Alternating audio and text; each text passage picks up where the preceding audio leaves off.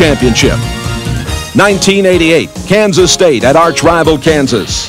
The Wildcats' Mitch Richmond outscored fellow All-American Danny Manning 35 points to 21, leading Kansas State to a 72-61 victory. That Wildcat win broke Kansas's league record 55-game home winning streak. The 1988 meeting between Oklahoma and Missouri was ESPN's highest rated game of the season.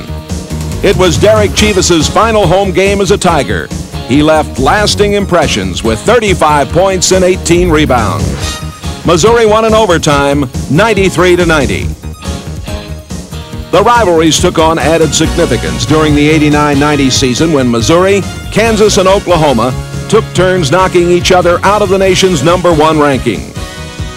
Kansas was number one when Missouri beat the Jayhawks 95 to 87 in Columbia, January the 20th. Missouri then took over the top spot in the polls.